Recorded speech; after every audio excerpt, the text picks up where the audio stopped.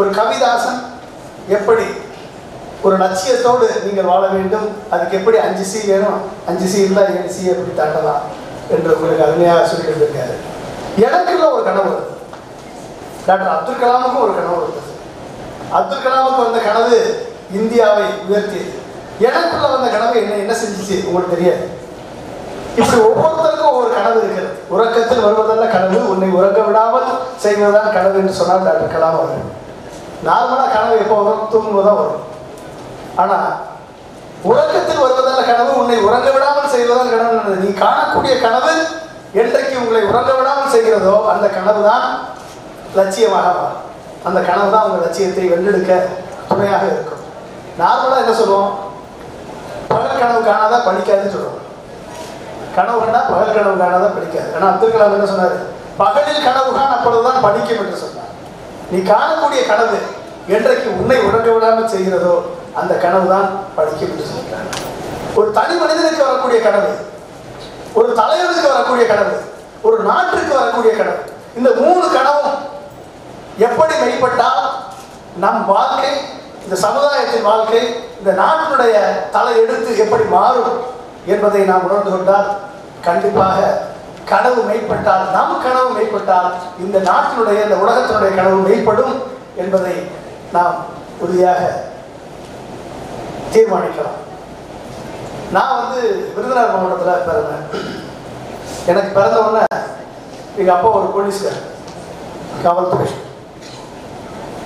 எனக்கு சிறு வயதில் நான் பார்த்த ஒரு படம் தான் எனக்குள்ள ஒரு ஒரு பொரிய உருவாக்கிச்சு.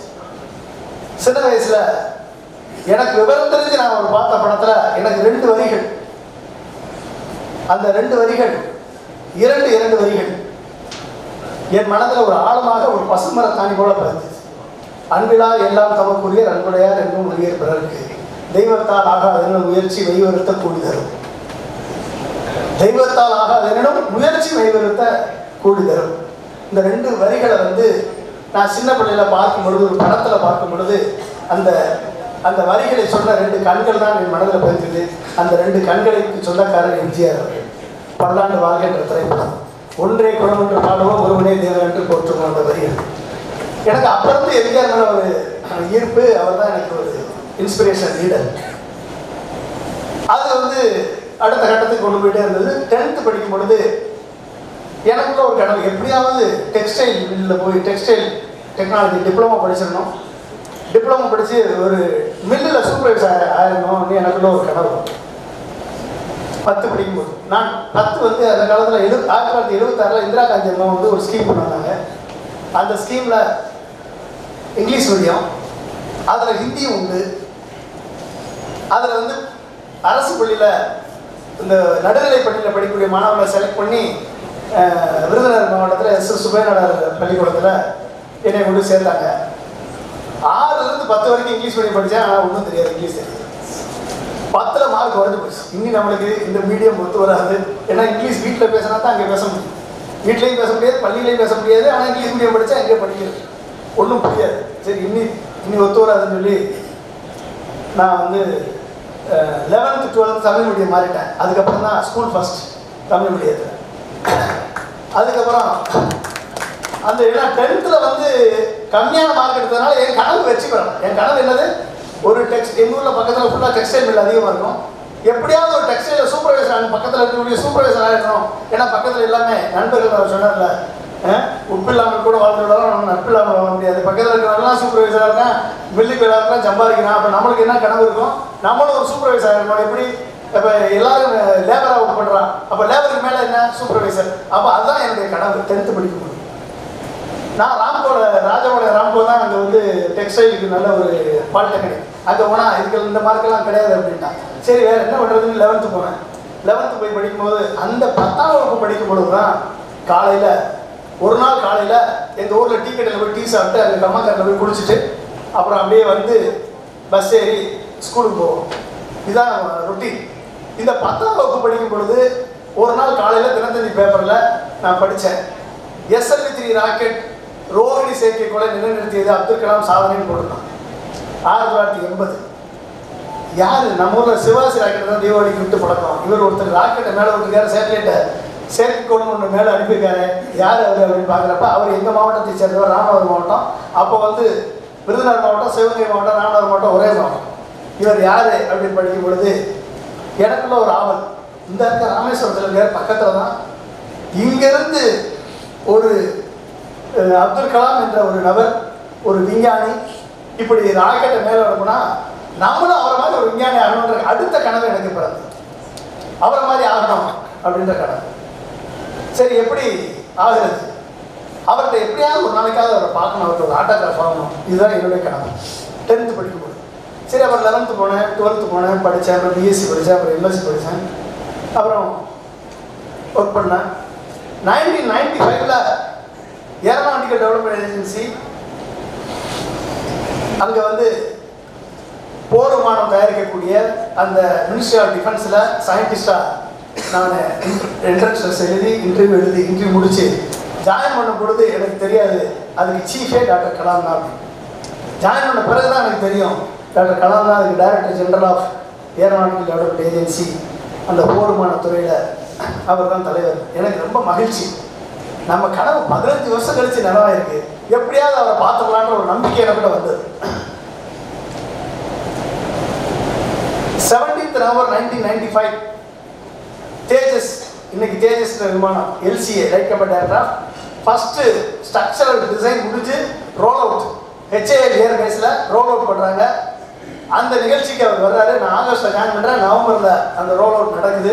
அந்த நிகழ்ச்சிக்கு அன்றைய பாரத பிரதமர் நரசிம்மராவ் அவர்களும் அப்துல் கலாம் அவர்களும் அதுக்கு வர்றாங்க. வந்து அந்த ரோல் அவுட் சிறப்பாக முடிஞ்சு முடிஞ்சது.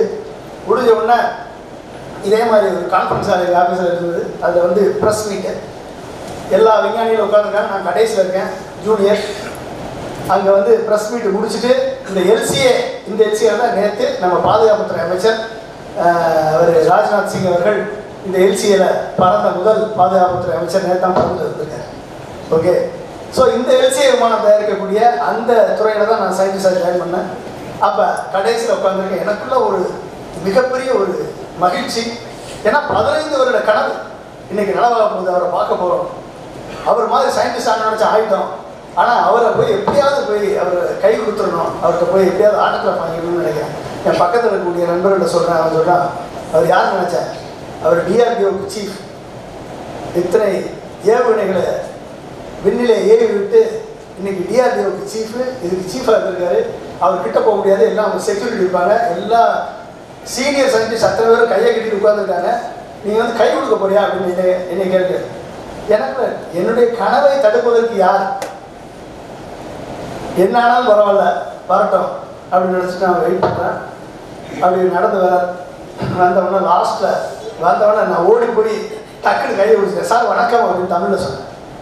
அப்படியே தோளில் கை தட்டிட்டு என்ன தமிழ்நாடா? அப்படின்னா எஸ் சார் ஆமாம் எந்த ஊர்? அப்படின்னா விருதுநகர் மாவட்டம் தோணல் ஆமாம் சார் அப்படியா? விருதுநகர் மாவட்டமா? அப்போ எங்கள் ஊர்? ராமநாதபுரம் மாவட்டம். நான் ராமேஸ்வரம் அப்படின்னு எனக்கு சொல்கிறாரு நம்ம ரெண்டு பேரும் ஒரே மாவட்டம். வாட் மிஷன் அப்படின்னாரு. எனக்கு மிஷன் என்னன்னு தெரியாது. ஏன்னா இங்கிலீஷ் படிக்கிறது பெரிய விஷன்னா என்ன விஷன்னா பார்வைன்னு தெரியும். இன்னும் இப்போ போய் பார்வையை போய் கேட்குறாரு அப்புறம் அவனுக்கு தெரிஞ்சுட்டாரு நம்ம பையனுக்கு ஒன்றும் தெரியாது போது இங்கிலீஷ் ஸோ இது வந்து சொல்லணும் அப்படின்னு சொல்லிட்டு உன் லட்சியம் என்ன அப்படின்னு கேட்டார் இப்போ எல்லாரும் லட்சியத்தை பற்றி பேசுனாங்கல்ல ஓகே உன் லட்சியம் என்ன அப்படின்னு கேட்டார் சார் என் லட்சியம் உங்களை பார்க்கவா சார் எனக்கு லட்சியம்? உங்களை ஆட்டத்தில் பார்க்கறதா சார் லட்சியம்? பதினஞ்சு வருட கனவு சார் எனக்கு எனக்கு பழிச்சிருச்சு ஆ அது ஓகே அது ஓகே வெரி குட் ஆனால் இன்னைக்கு ஜாயின் பண்ணிருக்க சயின்டிஸ்டாக இருக்க வன்முடைய லட்சியம் என்ன? Sir design and development of the light command aircraft sir அப்படின்னு. அதான் விஷயம். விஷன் ஆஃப் தி ஆர்கனைசேஷன் அது இல்லை. ஒரு லட்சியம் என்னன்னா இந்தியா ராக்கெட் துறையில் மிசைலில் இன்னைக்கு நம்ம தண்ணீர் அடைஞ்சிட்டோம் ஆனால் விமானத்துறையில் இன்னும் நம்ம தண்ணீர் விடையில டெக்னாலஜி இன்னும் நம்ம இம்போர்ட் பண்ணிட்டு இருக்கோம். ஆனால் அந்த துறையில் தண்ணீரை அடைந்து என்றைக்கு இந்தியா சொந்தமாக ஒரு பேசஞ்சர் ஜெட் ஏர்கிராஃப்டை உருவாக்குறோம். இன்னைக்கு நம்ம பயன்படுறது fighter jet aircraft passenger jet உருவாக்கக்கூடிய அளவுக்கு டெக்னாலஜியை டெவலப் பண்ணணும். அந்த டெக்னாலஜியில் உனது பங்கும் இருக்க வேண்டும். அதுதான் உங்கள் லட்சியமாக இருக்கணும் அப்படின்னா okay that then they knows அப்ப அந்த நிலையில விஷன் என்றால் என்ன என்பது? ஏன்னா டென்த்து படிக்கும் போதும் எனக்கு வந்து கிராமத்தில் படிச்சிருக்கேன். நான் வந்து எம்எஸ்சி கம்ப்யூட்டர் சயின்ஸ் போய் என்ட்ரன்ஸ் எழுதி இப்போல்லாம் என்ட்ரன்ஸ் தான் பெரிய பிரச்சனை. நான் அப்போ தான் ஃபஸ்ட்டு ஃபஸ்ட்டு எம்எஸ்சி என்ட்ரன்ஸ் எழுதுறேன் ஏன்னா டென்த்து டுவெல்த்தில் ஒழுங்காக தான் படித்ததுனால என்ட்ரன்ஸில் நானூற்றம்பது பேர் எழுதுனாங்க நான் பத்தொம்பது பேர் பாஸ் பண்ணிட்டேன் பத்தொம்பதாவது நாள் பத்தொம்பது பேர் தான் எடுத்தாங்க அதில் ஒரு ஆள் நான். எனக்கு எம்எஸ்சி கம்ப்யூட்டர் சயின்ஸ் சீட் கிடைச்சது. அன்னைக்கு வந்து வைஸ் சான்சலர் வந்து உட்காந்து இன்னாகிரேட் பண்ணுறாரு அந்த கோர்ஸை ஃபஸ்ட்டு ஃபஸ்ட்டு தமிழ்நாட்டில் first MSc computer science course introduce பண்ணுறாங்க அதில் நான் ஃபஸ்ட்டு ஸ்டூடெண்ட்டு அன்னைக்கு வந்து வயசாக பேசுகிறார் பதினஞ்சு நிமிஷம் இங்கிலீஷில் பேசுகிறாரு ஒரு வார்த்தை கூட எனக்கு தெரியாது. ஒரு வார்த்தை கூட தெரியாது. ஏன்னா ஆசையம் சஃபரிங் ஃபீவர் இதுதான் நம்ம எழுதி பழக்கப்பட்டிருக்கோம். அதுவும் அடுத்த எழுதி கொடுப்போம். அதை பார்த்து எழுதி டேட்டை எழுதி மாற்றி போட்டு கொடுத்தா பழக்கம். வேற எதுவும் தெரியாது. எனக்கு அன்னைக்கு ரொம்ப அவமானமாக போச்சு. ரொம்ப இதாக போச்சு. என்ன இப்படி இருக்கும்? மற்ற எல்லா பசங்களும் நல்ல சிட்டியில் படிச்சு வந்திருக்காங்க. நம்ம கிராமத்துல இருந்து படிச்சு போயிருக்கோம் ஒன்றுமே தெரியலையே. ஆங்கிலமே தெரியலையே. அன்னைக்கு நைட்டு முடிவு பண்ணேன் இனி இனி வந்து ஒன்றும் பண்ணக்கூடாதுன்னு அன்னைக்கு நைட்டு பன்னெண்டு மணிக்கு மேலே இந்து பேப்பர் எடுத்து ஏன்னா அதுக்கு மேலே எடுத்து படித்தோம்னா ஒரு ஒரு மாதிரி பார்ப்பான் அப்படின்னு சொல்லிட்டு பன்னெண்டு மணிக்கு மேலே எல்லாம் தூங்கின பிறகு ஹாஸ்டலில் இந்து பேப்பர் எடுத்து படித்தா ஒன்றுமே புரியல. ஹெட்டியும் புரியல. உள்ளுக்கு இருக்க கண்டென்ட் புரியல. ஒன்றும் புரியல. அதுக்கப்புறம் டிக்ஷனரி எடுத்து ஒன்றுன்னா எடுத்து எடுத்து முயற்சி. நைட்டு மூணு மணி வரைக்கும் படித்து படித்து இப்படியே படித்தேன் ஒரு மூணு மாதத்தில் ஓரளவுக்கு படிக்க முடிஞ்சது. அதுக்கப்புறம் என்னடா பண்ணுறது இது எப்படி? படிக்கிறத பேசணும். பேசணும் எல்லாம் சிரிக்கிறான் அதுக்கப்புறம் செமஸ்டர் எக்ஸாம் வந்தது. இந்த செமஸ்டர் எக்ஸாமில் என்ன பண்ணுறது அப்படின்னு பார்த்தாம எங்கள் என் கூட நாலு பொண்ணுங்க படித்தாங்க அவங்க லெட்டர் எழுதிட்டாங்க. இந்த லெட்டருக்கு என்ன நல்லா படிக்கிறீங்களா என்னென்ன இங்கிலீஷில் லெட்டர் எழுதிட்டாங்க. எனக்கு இதுக்கு பதில் போடணுமே. பொண்ணுங்களுக்கு பதில் போடணும் கொஞ்சம் ஜாக்கிரதையாக போடணும். அப்போ அதுக்கு பதில் போடுறதுக்காக இங்கிலீஷ் படித்து அப்போ அதை ஒழுங்காக எழுதி அந்த லெட்டரை ஒழுங்காக எழுதி இப்படியே கற்றுக்கிட்டு கற்றுக்கிட்டு இன்னைக்கு ஆயிரம் ரெண்டா கிட்டத்தட்ட ரெண்டாயிரம் ஸ்பீச்சஸ் அப்துல் கலாமுக்கு இங்கிலீஷ் எழுதி கொடுக்கக்கூடிய வாய்ப்பு எனக்கு கிடைச்சது. புத்தகம் காரணம் முயற்சி. அந்த முயற்சி தான். தெய்வத்தால் ஆகாததுன்னா முயற்சி மெய்விரத்தக்கூடியது. அந்த முயற்சி. ஸோ ஆனால் அன்னைக்கு எனக்கு தெரியாது. அன்னைக்கு அப்துல் கலாம் பார்க்குறப்ப எனக்கு தெரியாது. அடுத்த இருபது ஆண்டுகள் அவருடனே பயணிக்க போகிறேன் அப்படின்னு எனக்கு தெரியாது. எங்களுக்கான வாய்ப்பு கொடுத்தார். கார்கில்ல போர் நடக்குது. அந்த கார்கில் போருக்கு டைகர் ஹில்ஸ்ல தீவிரவாதிகள் இருக்கான் அந்த டைகர் ஹில்ஸ்ல இருக்கக்கூடிய தீவிரவாதிகளை இங்கேருந்து மிராஜ் ஏர்கிராஃப்ட்ல போய் அட்டாக் பண்ணணும். அதுக்கு என்ன பண்ணணும்? டேரெக்டாக இல்லை அப்போ சேட்டலைட் கிடையாது. காட்ட சொல்ல கிடையாது. அப்போ சேட்டலைட் இமேஜை வாங்கி டிஜிட்டல் எலிவேஷன் மாடல் பண்ணி அதை சிமுலேஷன் பண்ணி இந்த இடத்துல இப்படி போனால் இன்னொன்ன பாத்திர போனால் இப்படி போய் அட்டாக் பண்ண முடியும் என்றக்கூடிய சிமுலேஷன் பாத்தை கிரியேட் பண்ணி அந்த சிமுலேஷன் பாத்தில் பண்ணக்கூடிய அந்த டிஜிட்டல் எலிவேஷன் சிமுலேஷன் பண்ணக்கூடிய ஒரு வாய்ப்பு கிடைச்சது. அதில் ஃபைட்டர் பைலட்ஸ் அத்தனை பேர் வந்து ட்ரைனிங் எடுத்தாங்க. சக்ஸஸ்ஃபுல்லாக கார்கில் ஆப்ரேஷனை வெற்றி பெற்றார்கள். போர் வெற்றி பெற்றது. அதில் பணியாற்றக்கூடிய வாய்ப்பு கிடைச்சது. அந்த வாய்ப்பு பல்வேறு அதாவது கனவு உறக்கத்தில் வருவதற்கு பதினஞ்சு வயசுல எனக்கு வந்த கணக்கு அப்துல் கலாமை பார்க்கணுன்ற கணக்கு பதினஞ்சு வயசுல வந்தது. அதுக்கப்புறம் பதினஞ்சு வருஷம் கழிச்சுதான் எனக்கு அவரோட பணியாற்றக்கூடிய அந்த வாய்ப்பு கிடைச்சது. அப்ப அந்த கனவு வந்து உங்க மனசுல சப்கான்சியஸ் மைண்ட்ல அது நின்றுச்சுன்னா கனவு என்னைக்கு லட்சியமா மாறுதோ அன்னைக்கு அது கண்டிப்பா நிறைவேறும். அப்துல் கலாமுக்கு ஒரு கனவு வந்துச்சு. என்ன கனவு? அவர் பத்து வயசுல ஐந்தாம் வகுப்பு படிக்கும்போது வந்த கனவு. வாத்தியார் வந்து பறவை எப்படி பறக்குதுன்னு படம் போட்டு விளக்குறாரு. ஒருத்தருக்கு புரியல. புரிஞ்சா? நாற்பது பேர்ல பத்து பேர் கைது விடுறாங்க. முப்பது பேருக்கு புரியல. சரி பசங்களுக்கு ஒன்றும் புரியல. வாங்கன்னு கடற்கரை கூட்டு போறாரு. கடல் பறவைகள்னா கூட்டமா மேடையும் த- கீழே பறக்குது. இதை பார்த்து அவர் சொன்னார் ரெக்கையை மேல இருந்து ஆட்டும் பொழுது மேலே வெற்றிடம் ஏற்படுது கீழே ஏர் பிரஷர் வருது. அதனால பறவை எப்படி பறக்குதுன்னு அழ அழகாக விளக்குகிறார். பறவை எப்படி பறக்கிறது என்று அத்தனை பேருக்கும் புரிந்தது. ஆனால் அப்துல் கலாமிற்கு மட்டும்தான் நானும் என் வாழ்வில் பறக்க வேண்டும் என்ற லட்சியம் பிறந்தது. பறவை எப்படி பறக்கணும் புரிஞ்சோம் அத்தனை பேர் அப்துல் கலாம் ஆயிரல பிரசிடென்ட் ஆயிரல சயின்டிஸ்ட் ஆயிரல இங்கே இதாக ஆனால் நானும் என் வாழ்வில் பறக்க வேண்டும் என்ற லட்சியம் எப்பொழுது பிறந்ததோ அவரால் தான் அதை சாதிக்க முடியுது அப்படின்னா லட்சியம் பிறக்கணும். எல்லாருக்கும் கனவு இருக்கு. நம்ம அத்தனை பேருக்கும் கனவு வரும். ஆனா அந்த கனவு என்னைக்கு லட்சியமா மாற்றக்கூடிய வல்லமை நமக்கு வருகிறதோ அன்றுதான் அந்த லட்சியம் வெற்றி வரக்கூடிய அனைத்து முயற்சிகளும் நீங்கள் எடுக்கணும் அப்ப என்ன படிக்கிறது? பைலட் ஆகணும். பறக்கணும் என்ன பண்றது? டீச்சர் போய் கேட்கிறார். பறக்கணும் நீ பைலட் ஆகணும். விமானம் ஓட்டணும். அப்ப பைலட் ஆக என்ன படிக்கணும்? பிசிக்ஸ் படிக்கணும். சென்ட் ஜோசப் காலேஜில் பிசிக்ஸ் படிக்கிறாரு. எம்ஐடியில் போய் ஏரோநாட்டிக்கல் இன்ஜினியரிங் படிக்கிறார். ஏரோநாட்டிக்கல் இன்ஜினியரிங் எடுத்து படிச்சு ஆயிரத்தி தொள்ளாயிரத்தி ஐம்பத்தி நாலு ஐம்பத்தி எட்டுல ஏரோநாட்டிக்கல் இன்ஜினியரிங் படித்தா இந்தியாவில் வேலை கிடைக்காது. ஏன்னா ஒரு ஏர்கிராஃப்ட் இண்டஸ்ட்ரி கிடையாது ஒரு மிசைல் இண்டஸ்ட்ரி கிடையாது ஒரு ராக்கெட் இண்டஸ்ட்ரி கிடையாது. எதுவும் கிடையாது. போனால் ஏர்ஃபோர்ஸ் பைலட்டாக தான் போகும். வேற வழியே கிடையாது. இவர் வீட்டில் ஏழு பேர் ஏழு பேர்லாம் படித்தவர் இவர் ஒருத்தர் தான். இவர் படித்தாதான் அந்த குடும்பம் ஒரு மீன்பிடி படகு கட்டும் செய்ய தொழிலை செய்யக்கூடிய குடும்பம். இவர் படித்தாதான் வேலை வாய்ப்பு சம்பளம்.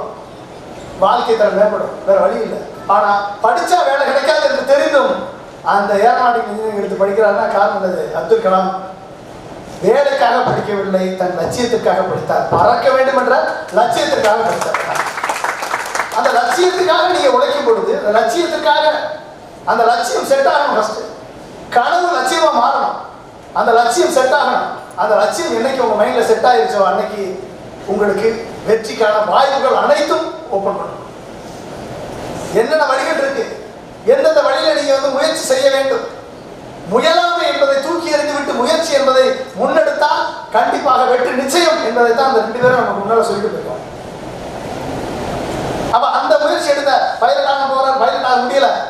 ஃபெயிலியர் ஃபர்ஸ்ட் இன்டர்வியூல செலக்ட் செகண்ட் இன்டர்வியூல ஃபெயிலியர் செலக்ட் ஆக முடியல. அரை இன்ச்சு ஹைட் கம்மியாக இருக்காரு. அவர் ரிஜெக்ட் பண்ணிட்டான். மன வருத்தத்தோட போய் உட்கார்ந்துருக்காரு. அந்த சிவானந்த ஆசிரமத்துல என்னாச்சு உனக்கு? சிவானந்தர் கேட்கிறார் என் கனவு தோற்று விட்டது லட்சியம் பால்பட்டு விட்டது வாழ்க்கை சூன்யமா இருக்கு என்ன செய்யறதுன்னு தெரியல என்ற ஒரு எம்டினஸோட போய் உட்கார்ந்துருக்கிறார் தூக்கணும் கலாம்.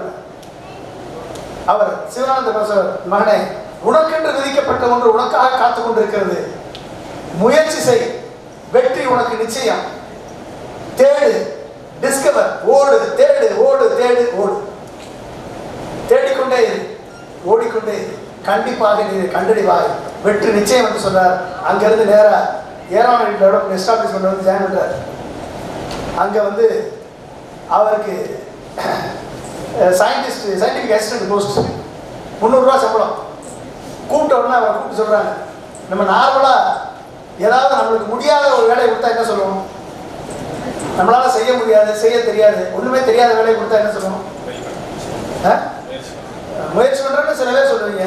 மற்றது இது நம்மளுக்கு ஆகாத ஒத்து வராது எனக்கு ஒன்றும் தெரியாத ஆள் வருது போயிடுவோம்னு அவர்கிட்ட கூப்பிடு கூப்பிடுறாங்க. கூப்பிட்டு ஒரு என்ஜினை டிசைன் பண்ணணும். சும்மா ஒரு டாஸ்க் டிஆர்பி அப்போ தான் ஆரம்பிச்சிருக்காங்க ஒரு என்ஜினை டிசைன் பண்ணணும். அந்த என்ஜின் தரையிலேருந்து ஒரு அடி இடத்துல பறக்கணும் தண்ணியிலேருந்து ஒரு அடி இடத்துல பறக்கணும். யாருமே சொல்லல. இது வரைக்கும் இப்போ இப்போல்லாம் நம்ம உடனே கூகுள் இருக்கு. கூகுள் ஆண்டவர் ஹெல்ப் பண்ணுவார். பார்த்துடலாம். அப்போ ஒன்றும் கிடையாது. ஒன்லி லைப்ரரி தான். புக்கில் படிக்கல. இது வரைக்கும் யாரும் பண்ணிட்டாங்களான்னு தெரியாது. லைப்ரரியில் போய் தே எத்தனை லைப்ரரி போவீங்க சொல்லுவாங்க எத்தனை லைப்ரரி தெரியும்? ஆறு ஏழு எட்டு ஒன்பது பத்து பதினொன்று. லைப்ரரி படிக்கும்போது போயிருக்கீங்கன்னு நினைக்கிறேன். இப்போல்லாம் போகிறதில்ல அந்த லைப்ரரி அங்கே போய் தேடி தேடி பார்க்குறாரு. குவாண்டா எஃபெக்ட்னு ஒரு எஃபெக்ட் தியரி அந்த தியரியை படிச்சுட்டு ஒரு இன்ஜினை டிசைன் பண்ணுறாரு நாலு இன்ஜினை உருவாக்குறாரு. வெஹிக்கிள் ரெடி ஆகுது. கிட்டத்தட்ட ஐந்து வருட கடின உழைப்பு. உழைப்பு முடியல வீட்டில் ரெடி ஆகுது. பெங்களூர் கப்பல் பார்க்கில் அந்த பசும்புல் தரையில் அந்த வெஹிக்கிள் ஸ்டார்ட் பண்ணுறாரு எம்ஜிகே மேன் உட்கார வச்சு பக்கத்தில். அன்னைக்கு டிஆர்டி வச்சு வெஹிக்கிள் அரை அடி ஒரு அடி உயரத்தில் எடுத்து பறக்கிறது நண்பர்களே. இன்றைக்கு இந்தியாவின் கடற்கரை ஏழாயிரம் கிலோமீட்டர் கடற்கரையில் இந்திய கப்பற்படை ஒரு எந்திரத்தை வைத்து இந்த கப்பல் கடற் கடல் கடற்கரையை பாதுகாத்துக் கொண்டிருக்கிறது என்று சொன்னால் அது அப்துல் கலாமின் அறிவுறுத்த நந்தி ஹோவர் கிராஃப்ட் என்ற ஹோவர் கிராஃப்டுடைய பறக்க வேண்டும் என்ற லட்சியம் தோற்றுவிட்டது. ஆனால் பறக்கும் எஞ்சினை உருவாக்கக்கூடிய வல்லமை அவர்கள் பிறந்தது. காரணம் லட்சியம் முயற்சி இலக்கு. இதுதான்.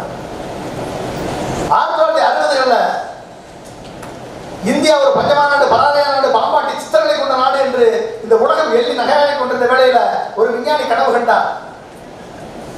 விண்ணை இழந்தால் மண்ணை இழக்கலாம் விண்ணை இழந்தால் கடல் நீரை இழக்கலாம் விண்ணை இழந்தால் இந்தியாவை இணைக்கலாம் என்று ஒரு விஞ்ஞானி கனவு கண்டார். விக்ரம் சாராபாய் என்ற விஞ்ஞானி.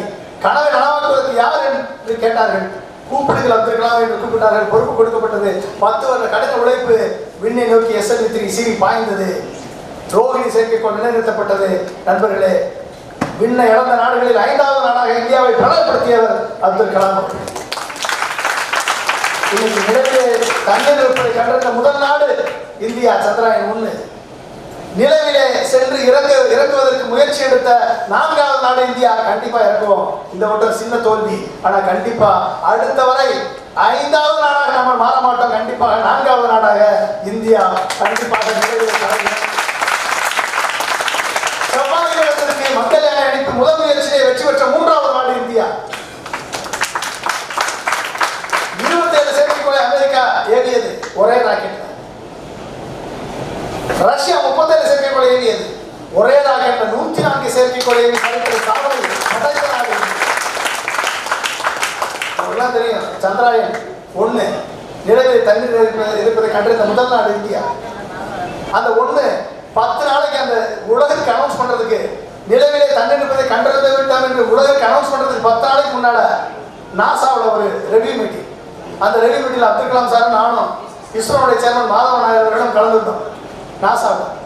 அந்த ரெவியூ மீட்டிங்கோட முடிவில் எப்படி கண்டறிந்தோம் மூணு இம்பாக்ட் ப்ராபோ எம் த்ரீ என்ற பெயரோடும் நாசாவுடைய நாசா இஸ்ரோனுடைய பெயரோடு எம் த்ரீ அண்ட் இந்தியாவுடைய பெயரோடு மூணு இம்பாக்ட் ப்ராப் அப்துல் கலாம் சொன்னதின் பேர் உருவாக்கப்பட்ட அதுதான் ஃபர்ஸ்ட் போய் நிலவில் கிட் பண்ணிச்சு.